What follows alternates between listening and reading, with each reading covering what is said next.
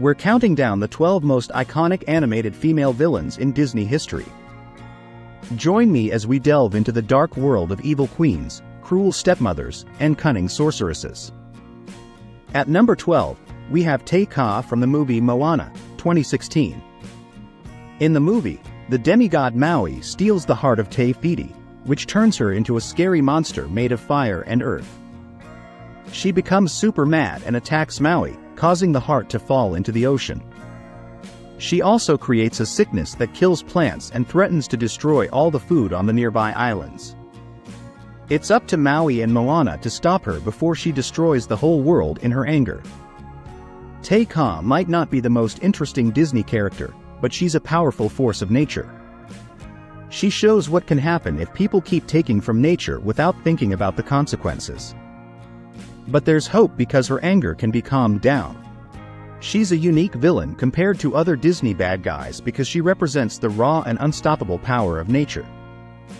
At number 11, we have Madame Mim from the movie The Sword in the Stone, 1963. In the movie, Madame Mim lives in a cottage in the forests of England. Unlike the good wizard Merlin, she uses her powers to make people miserable. She does this by playing tricky games that she always wins. Even though The Sword in the Stone isn't one of Disney's most popular movies, Madame Mim is one of the most memorable characters. Even though she's not in the movie for very long, Madame Mim stands out because of her crazy personality and magical powers. She's super confident in her abilities and loves showing off, especially when she's trying to beat Merlin. The wizard's duel between them at the end of the movie is one of Disney's best scenes, with amazing animation as they try to outdo each other by changing shapes. At number 10, Dawn Bellwether. The surprise twist villain of Zootopia, Dawn Bellwether works as the assistant to the mayor of Zootopia and uses her access to fabricate a conspiracy to take down the predators living in the city. Having been belittled and meandered as prey for all her life, she wants nothing more than to take the reins of power away from the predators and to rule over them with an iron grip.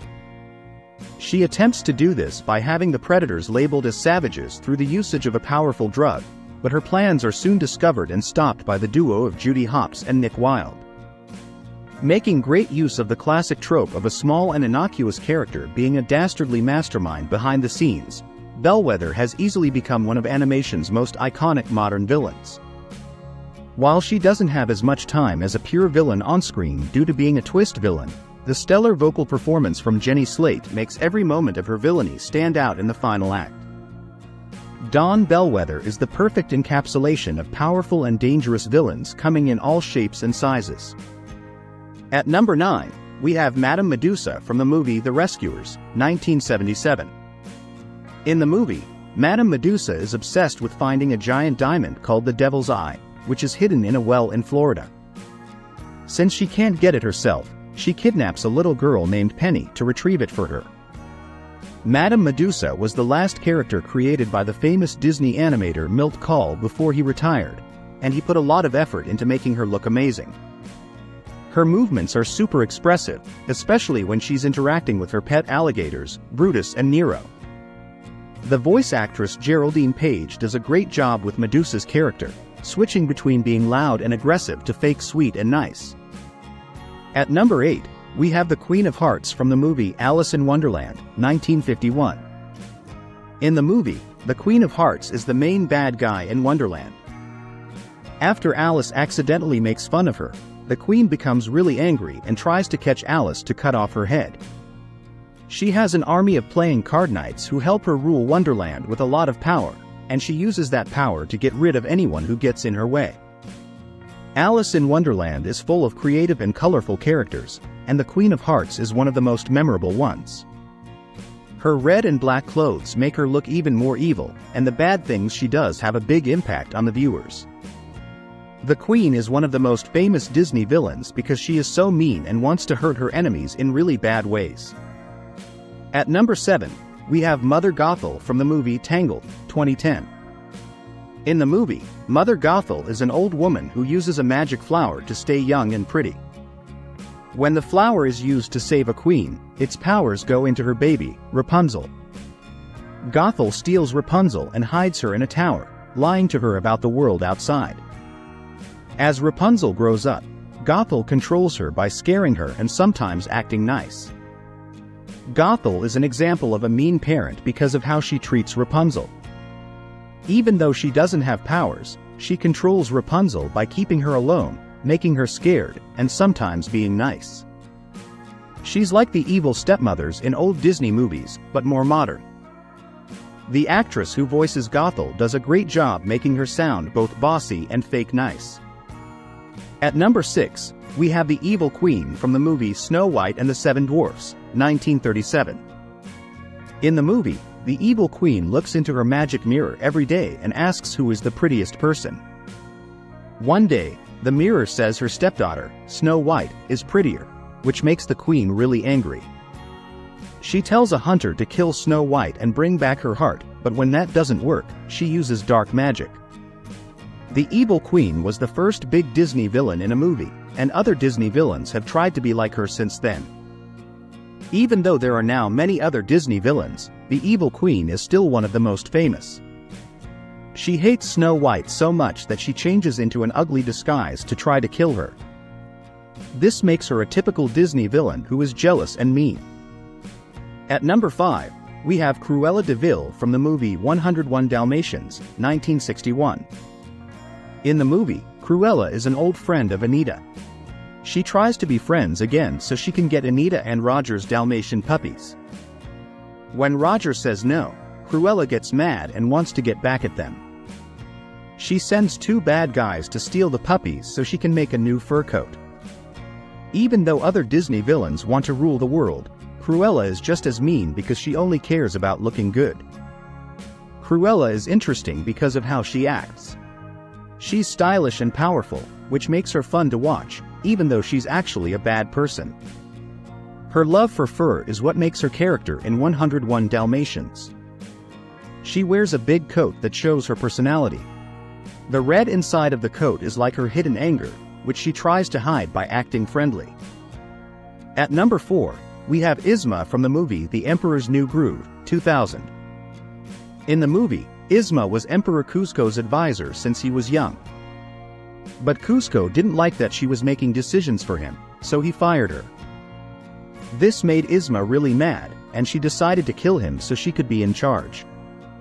Yzma is really funny because of how she talks with Kuzco and her sidekick, Kronk.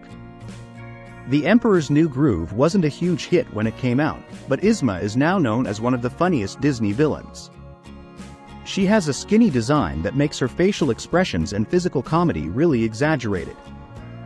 The actress who voices her, Eartha Kitt, makes her sound like a loud and scary creature. Yzma is also different from other villains because she uses potions and science in her plans. At number 3, we have Ursula from the movie The Little Mermaid, 1989. In the movie, Ursula lives inside a big sea creature's skeleton, she used to live in King Triton's palace but got kicked out because of her actions. When Ursula finds out that Princess Ariel really wants to go to the surface world, she comes up with a plan to get revenge on Triton and take over the ocean. She's smart and confident, so she tricks Ariel into making a deal that gives Ursula a lot of power. Ursula is a great example of a Disney villain who makes deals like a devil. In The Little Mermaid, she acts like a show-off, gaining trust by being nice and showing off her magic. Her song, Poor Unfortunate Soul, starts slow but gets really exciting, showing how she becomes one of Disney's most dramatic and memorable villains. At number 2, we have Lady Tremaine, also known as the Wicked Stepmother, from the movie Cinderella, 1950. In the movie, Lady Tremaine becomes Cinderella's stepmother after Cinderella's father dies. Instead of being nice to Cinderella, Lady Tremaine makes her work like a servant and treats her badly. When there's a royal ball, Lady Tremaine sees it as a chance to get one of her own daughters, Drizella or Anastasia, to marry the prince. Even though Lady Tremaine doesn't have any special powers, she's still one of the scariest Disney villains. The way Cinderella sees her makes her seem really scary. Lady Tremaine can make everyone quiet just by looking at them, and everything she says is important and mean. The animation and the voice acting by Eleanor Audley make her character even more powerful. At number 1, we have Maleficent from the movie Sleeping Beauty, 1959. In the movie, Maleficent, who calls herself the mistress of all evil, isn't invited to Princess Aurora's christening. To get revenge, she puts a curse on Aurora, saying she will die on her 16th birthday. The good fairies hide Aurora, and Maleficent spends 16 years trying to find them to make sure the curse happens. Maleficent has become one of the most famous and well-known Disney villains, even more than the movie Sleeping Beauty itself. Maleficent has everything that makes a great villain in a fairy tale. She acts with dignity and enjoys tormenting others by giving them hope and then taking it away. When she gets really angry, she shows her full power. In the movie's final part, she turns into a dragon, which is one of the most memorable moments for a Disney villain and shows how scary and powerful she is.